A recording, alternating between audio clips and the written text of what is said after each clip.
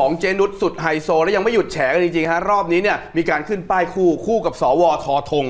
คนดังบอกแล้วเหรอแล้วตอนแรกพลเอกไม่ใช่เขาปฏิเสธแล้วนี่ไม่ใช่แล้ว เป็นสวทอทง คนดังขึ้นป้ายคู่ทำอะไรกัน ขึ้นป้ายคู่ร่วมกันสร้างศาลาแสนกว่าๆโยนโป้งเลยจบเลยฮะ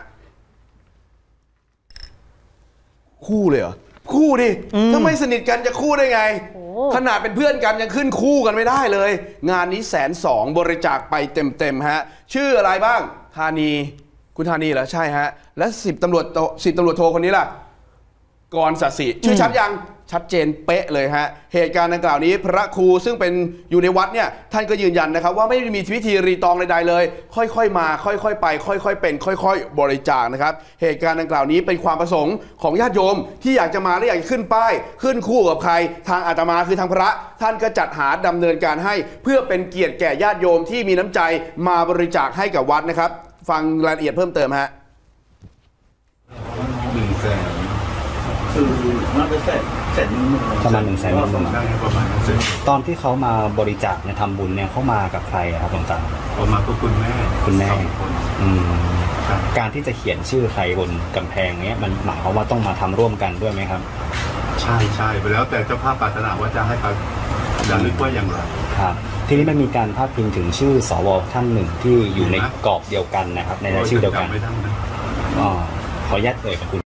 คือเขาเคยเห็นหลวงตาเคยเห็นเขามาทำบุญด้วยกันไหมครับผมไม่เคยไม่เคยเลยคุณผู้หญิงจะมาคนเดียวแล้วครับคุณแม่นะอืมแล้วมีมีทหารรับใช้มาด้วยกันไหมครับ เวลามากับคุณโอ้คุณหญิงมามาด้วยกันสนิทดีเขาดูแลดีนะก็ดูแลกันดี ไหนนี่คือวัดบางลี่เจริญธรรมนะครับ ถ้าสวไม่เกี่ยวก็ไม่ต้องตกอกตกใจเพื่อนอาจจะขึ้นโค้งขึ้นคู่ ป้ายมันมีแค่นี้หรือเปล่านะฮะนี่เหตุการณ์หนึ่งที่หลายคนบอกว่าโหมันมันตอกย้ำความชัดเจนขึ้นเรื่อยๆนะครับเหตุการณ์เดิม ยังไม่พอยังมีการแฉไม่หยุดสำหรับคลิปที่เกี่ยวเนื่องกับพันสิบตำรวจโทหญิงกรสาสิ เกิดอะไรขึ้นกับการที่กระทำการกับทหารรับใช้ก็คือคุณปิ่นก่อเหตุไม่อยู่จริง ๆ และคลิปร้ายๆเกิดขึ้นมาต่อเนื่องฮะรอบนี้เนี่ยคือให้คุณปิ่น ยืนเฝ้า เฝ้าใคร เฝ้ากรสาสิ ฉันจะนอนเธอยืนเฝ้า เธอเป็นใคร เธอทหารรับใช้ เพราะฉะนั้นเธอต้องรับใช้ฉันแม้ฉันจะนอนเธอก็ต้องรับใช้ฉันฟังบรรยากาศนักเรียนให้พวกเราต้องไหนเราต้องเป็นยังไงอย่างนี้แน่นอนเราจะเข้าไปในคนที่รัก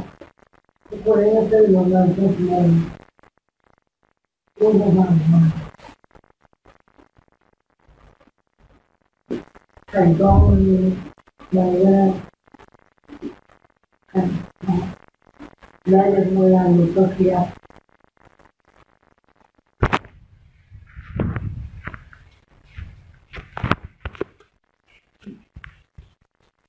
มันมองไม่เห็นนะคะ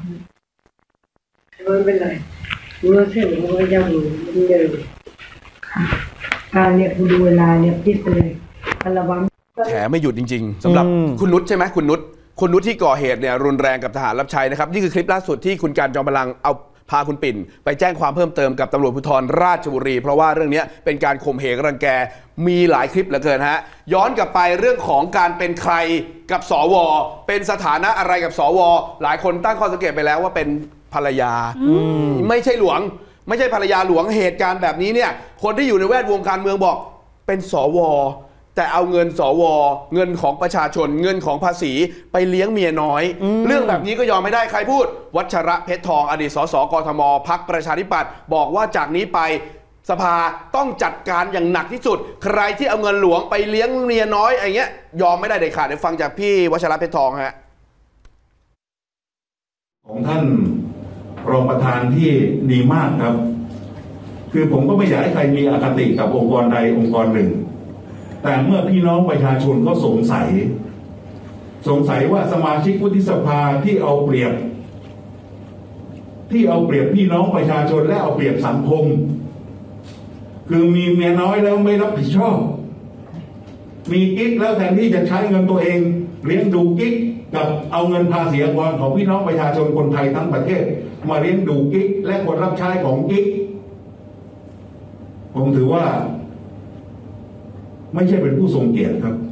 อันนี้พูดถึงกรณีของ